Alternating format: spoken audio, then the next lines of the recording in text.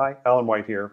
I've been trying to automate Figma with some of the new plugins. I want to turn this list of components into this list of fully populated, beautiful share images and export them to our CMS.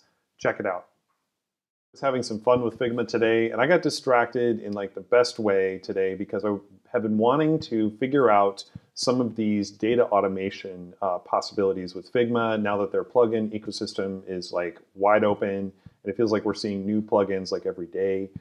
Uh, there's one called the Google um, Sheets Sync uh, plugin and uh, you can kind of see it here. And I'm gonna, I wanna show you um, kind of how I uh, figured out some of that stuff today and show you with a real world example. So um, here is, uh, here is a little template that I've got, and it's basically, I'm trying to, what I'm trying to do is generate share images. So the things that appear with Open Graph metadata for Facebook, uh, LinkedIn, you know, Twitter, etc. So it's basically this sort of two to one format, and generally they get cropped down to, you know, in the template. Um, and these are stored, in our case, at Contentful. So what I want to do is I want to crank out a bunch of them.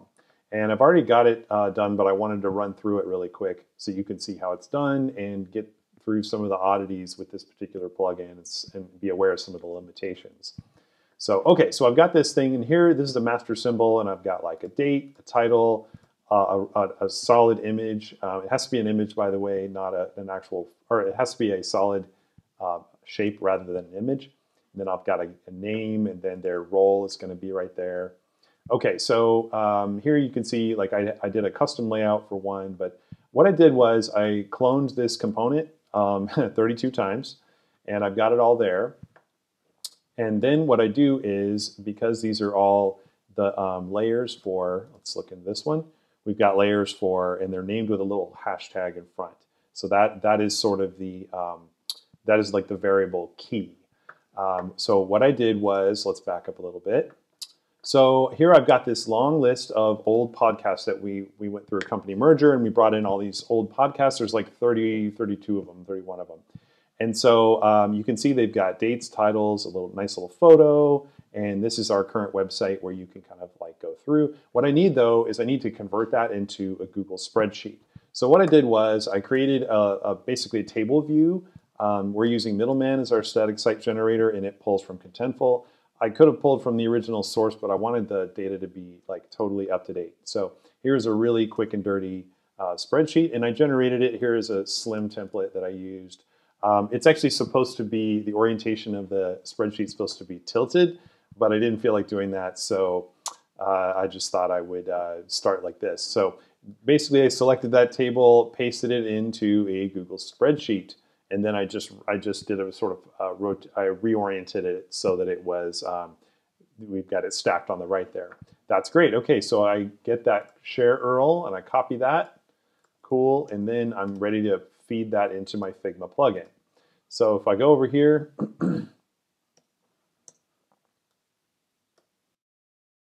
I've got my uh, I've got all these components. Now, what I would really love is for this plugin to automatically create these and automatically name these objects. It does not apparently do that yet. I mean, I've got this nice little list of slugs that I pulled, um, that I generated. I would really love to tack those slug names on, but because this is pretty new, I think we're not there yet. So at any rate, what I did was, uh, I'm gonna, I don't think you have to select these objects. I think you can just, you know, synchronize the entire sheet.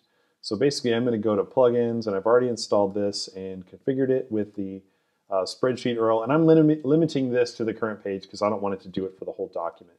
First thing I'm going to do is fetch. So this is going to show me my spreadsheet. Hey, that's cool. That looks correct. Um, it doesn't look like anything got misaligned.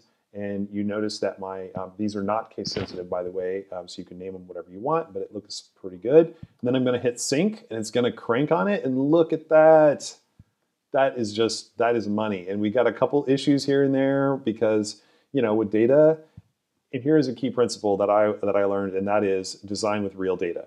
Um, so this is actually a great way to mock that up. Now, with this process sort of breakdown with hundreds and hundreds of entries, like yeah, I think it would. But for like a batch of them, like why not? So like you can see on the left here, all of these components are still named the same thing. Now, there are various auto naming, um, like what I did was I did a, there's rename it, I think, which exists for, you know, uh, Slack, or sorry, Sketch and uh, Figma as well. Um, just so I could number them, for example, uh, but I ended up having to hand name these, and that was a real pain in the butt. So here is where I arrived, and you can see here, I've just named these all, like, really because I'm handing this off to other people, I want them to be able to match up the name of the share image with the entry because I'm going to have an intern do this. Um, so, you know, maybe this is a step you don't need, but I kind of think this is a key. So plugin authors, if you're listening, this would be my feature request. Help us name these layers that you're first auto, auto generate the layers, um, the frames in, in, in Figma parlance, which are these different objects ready for export. Help us rename these and auto generate them. That would be fantastic. We would be living in, in heaven.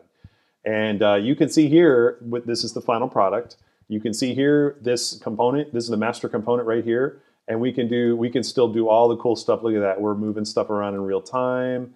We could be re rewrapping stuff. Uh, this is pretty freaking cool.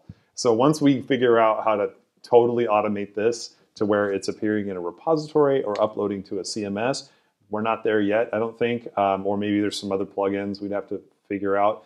But like to me, this is like design ops stuff that could highly automate some of these, like the drudgery that um, we all have to do every day, or at least you know um, streamline that a little bit. So I'm basically I've spent some time off screen uh, renaming all of these, but I'm ready to kick these suckers out.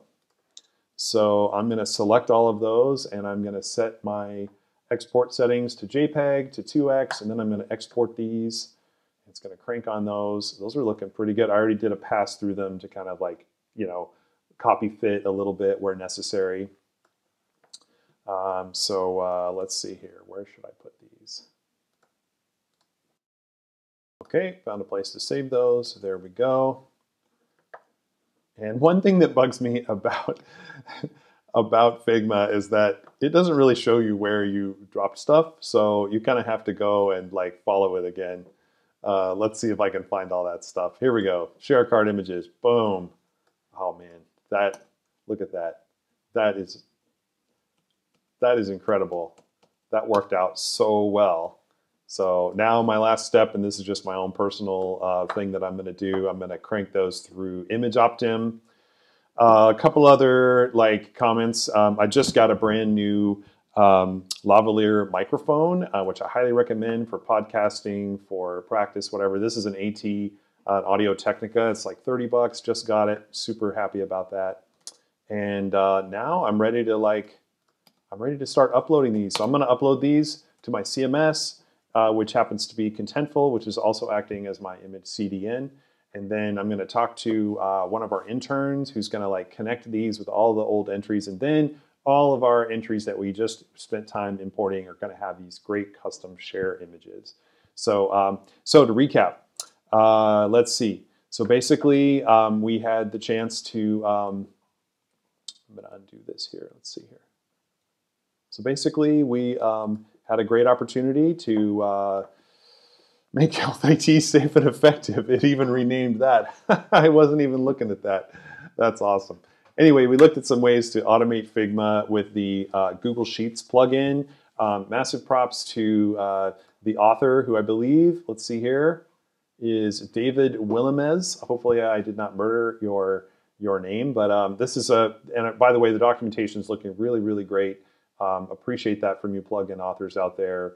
Um, this is super useful. So uh, definitely, I'm going to be uh, dropping this as some feature requests, but um, it's so new that you know it's just it's taken a while to little to sort of like get it to where we are now. Um, really excited about what's going on in Figma these days. Thanks for watching. Have a good day, and see you next time.